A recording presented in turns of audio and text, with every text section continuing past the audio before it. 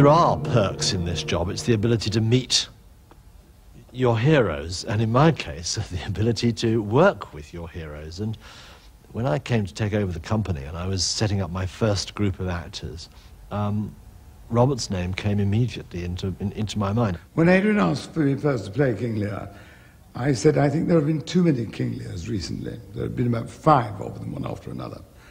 And I said, I think people may have got fed up with the play King Lear. So why don't we think of something else?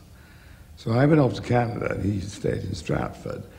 And he suddenly called me up in Canada and said, I don't care if there are a thousand King Lears, I want to do it, and I want to do it with you.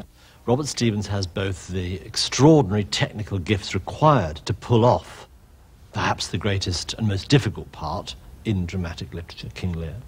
He also has the imaginative um, resources to invest the part with the sort of flights of fancy and brilliant interpretations that you need. I can't think of another part like it because he begins as an extremely unpleasant, overbearing, boorish man who will listen to nobody you do because you never see the Minister of Education or the Minister of Health or any advisors. It was at a time when the king, the king's word was it.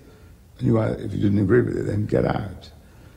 Um, he's totally selfish and um, expects everything to go in his way.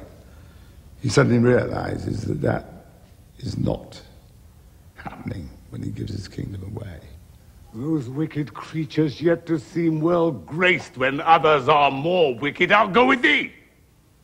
Thy fifty yet doth double her five and twenty, and thou art twice her love. Hear me, my lord. What need you five and twenty, ten or five to follow, in a house where twice so many have a command to tend you? What need one? A reason, not the need. Our basest beggars are in the poorest things superfluous. Allow not nature more than nature needs. Man's life's as cheap as beasts. Ah, the lady. If only to go warm were gorgeous, why nature needs not what thou gorgeous wears, which scarce doth keep thee warm, but for true need. Oh, you heavens, give me the patience. Patience I need. You see me here, you gods, a poor old man, as full of grief as age, wretched in both, if it be you who turn these daughters' hearts.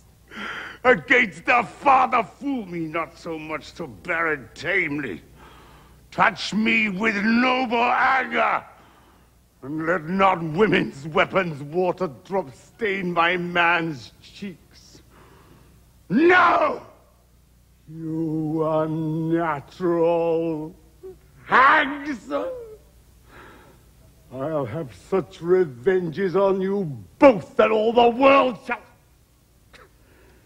I will do such things.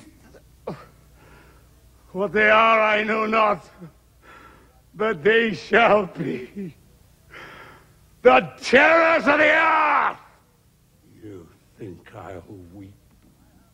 No, I'll not weep. I have full cause of weeping. But this heart of mine shall break into a hundred thousand flaws, or ere I'll weep.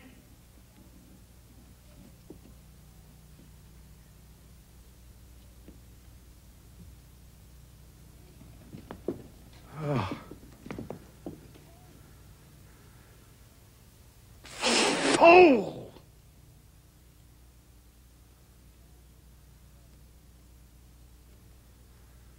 I shall go mad.